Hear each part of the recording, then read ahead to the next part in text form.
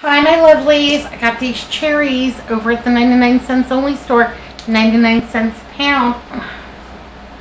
And I want to make sure I get my full value out of them. Something that I saw was storing your fruits, and they, they did strawberries. Storing your fruits in mason jars and making them last longer. So I wanted to try it out. Wanted to see if it really worked. If it would really save me waste and money and what have you.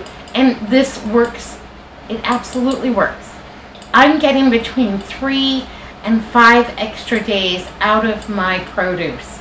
Um, I don't, it, any kind of jar, anything with a lid.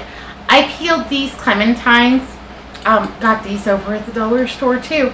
I peeled these clementines, put them in here. And let me tell you, it's super fun and refreshing. They're in my refrigerator and I just pop it open, take a little section, it's quick, convenient, and then you're getting your fruit in.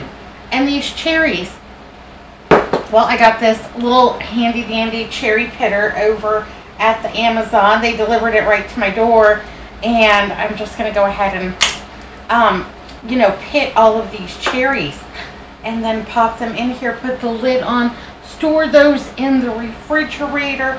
I have an upcoming recipe that's going to be using fresh cherries and they needed to be pitted. And then also for ease and convenience of eating. Um, we're, coming up on cherry season.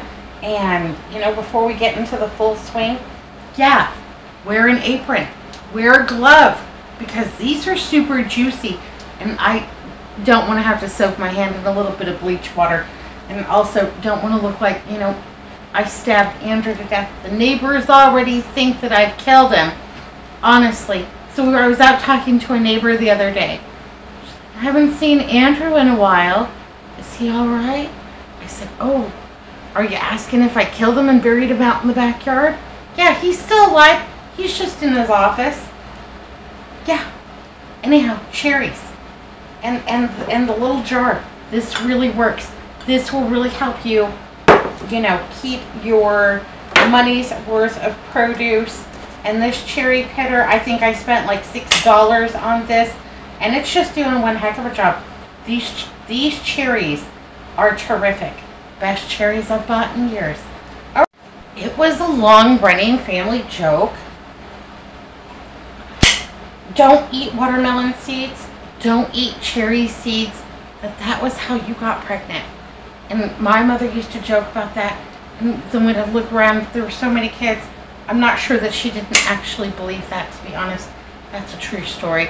Yeah, still, I don't eat, I don't eat the watermelon seeds. I don't like cherry seeds. Yeah, but, but you know, I know where babies come from. Just a little, just a little tidbit. Be good, be careful, look both ways. Eat some cherries, eat some summer fruits. They're good for you. Be good, be careful, look both ways. I'll see you next time.